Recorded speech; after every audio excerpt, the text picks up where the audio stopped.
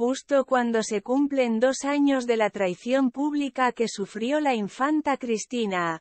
mostrándose fiel a su compromiso con las causas humanitarias y solidarias, la reina Sofía, 85 años, reapareció públicamente, por primera vez en 2024 el lunes 22 de enero en Vitoria, para mantener un encuentro con los voluntarios de la sede del Banco de Alimentos.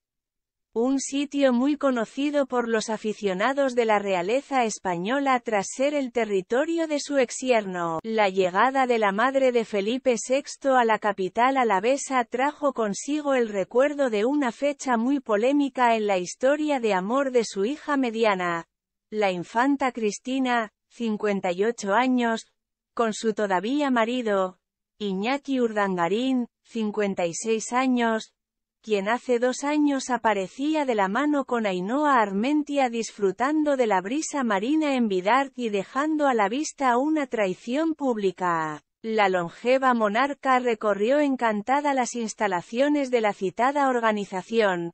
que en la actualidad ayuda a más de 1.500 familias en situación de vulnerabilidad, por lo que hizo gala de su amabilidad y estrecha cercanía con las necesidades existentes.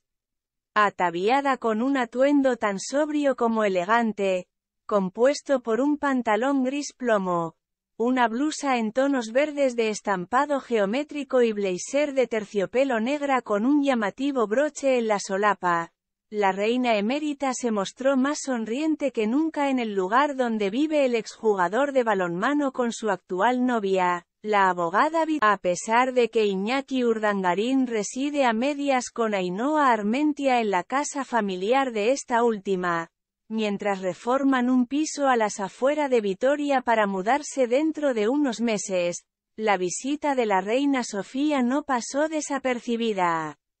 Se avecina una fecha clave para el primero y su hija, la infanta Cristina, debido a que se supone que culminarán en estos días con los trámites de divorcio. El miércoles 24 del corriente mes se cumplen dos años desde que los exduques de Palma anunciaran oficialmente la interrupción de su relación matrimonial.